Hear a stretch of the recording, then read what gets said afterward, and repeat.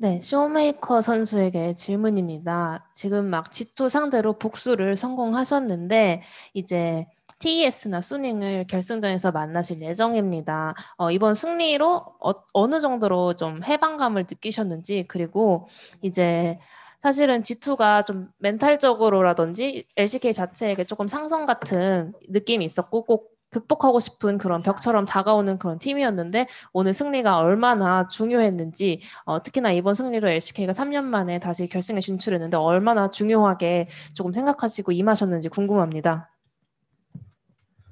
어,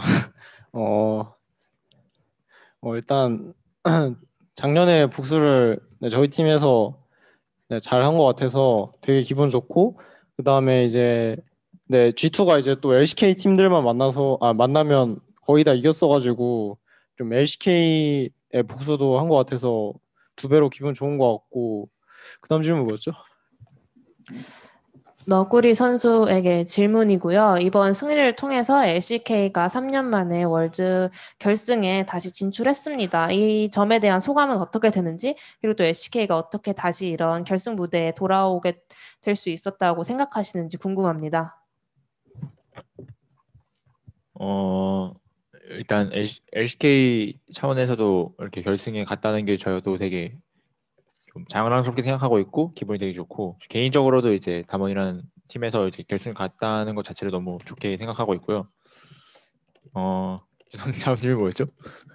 LCK가 어떻게 이제 이렇게 결승 무대로 좀 복귀할 캐년 선수에게 질문이고요. 수닝의 SOFM 선수를 상대하고 싶으신지, 어, TS의 카사 선수를 상대하고 싶으신지, 그리고 어, 그 두 선수 그 두 선수를 상대로 어떤 식으로 좀 경기 하실 것 같은지.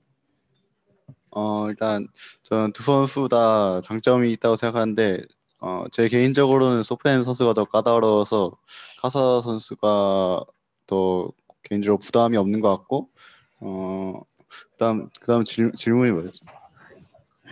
두 선수분들 상대로 결승전에서 어떤 모습을 보여주실 것 같은지. 네? 네? 결, 아, 결, 결, 어, 결승전에서 일단 최대한 제 장점 살리면서 어, 팀원들이랑 같이 잘하면 좋을 것 같아요. 어, 텐센트 e스포츠 기자님께서 쇼메이커 선수한테 드린 질문인데요. 그 오늘 경기 내에서 LPL 팀들의 어, 인장을 올, 올린 이유는 무엇인지 그리고 오늘 경기에 대한 예측 부탁드립니다.